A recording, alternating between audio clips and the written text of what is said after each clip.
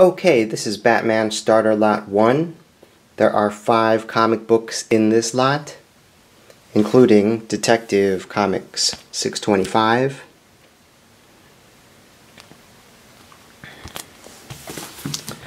Detective 626,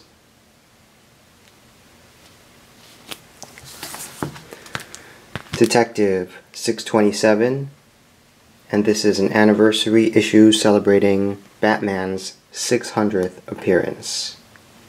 It's an 80 page issue, and it is square bound. Detective 628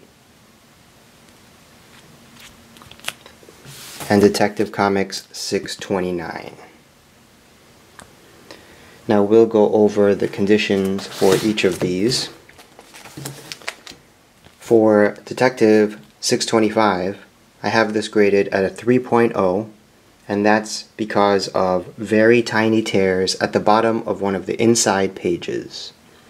It looks like a printing error, a manufacturing error, so there are um, very tiny tears on one of the pages. Inside, some non-color breaking spine ticks, dents on the front and back covers which are very small and small splotching on the inside pages.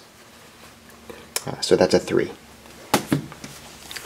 For Detective 626, I have this graded at a 6.8 for a small fold in the right bottom corner, uh, dents on the top back corner, very tiny tear on top of the back cover, and tiny non-color breaking spine ticks.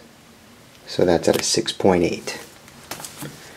For Detective 627, I have this graded at a 7.0 for non-color breaking spine ticks and dents on the front cover. For Detective 628, I have this graded at a 6.0 for non-color breaking spine ticks and some rounding of the right corners and right cover side. And for Detective 629, I have this graded at an 8.4, very small, non-color breaking spine ticks.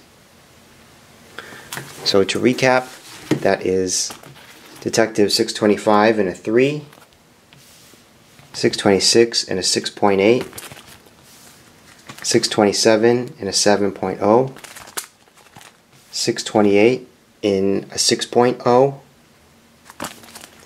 and 629 and an 8.4. And that is the Batman Starter Lot 1.